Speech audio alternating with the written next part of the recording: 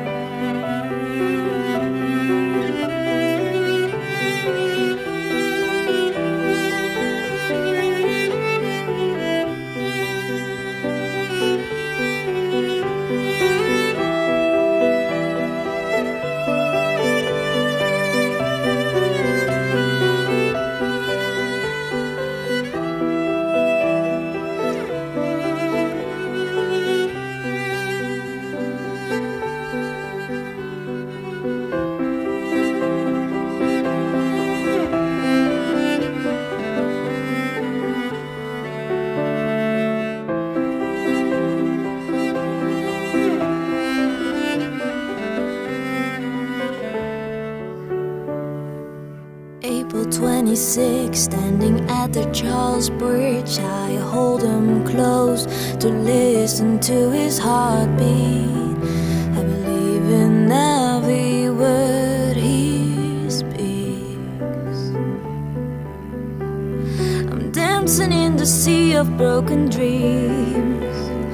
Love's not always what you hear, but what you see.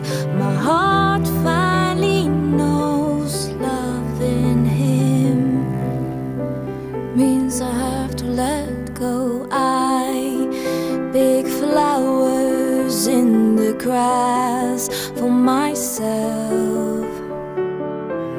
I know he picked them up for somebody else.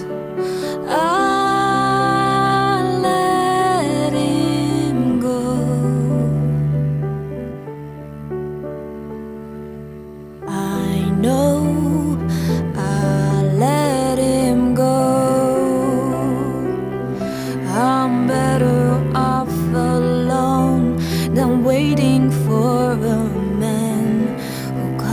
and goes. My heart still hurts, but my mouth still sings. I moved on cause I'm stronger than he thinks.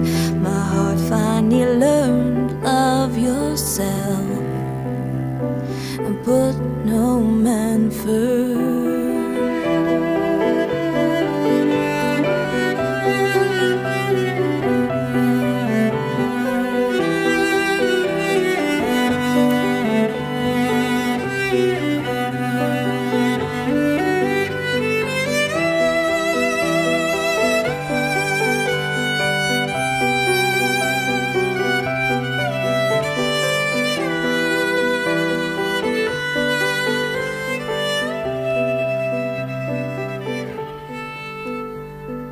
Now I don't have to pick up flowers for myself.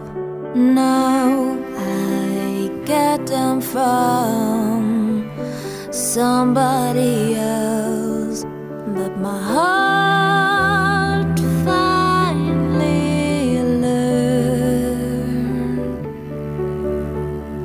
Love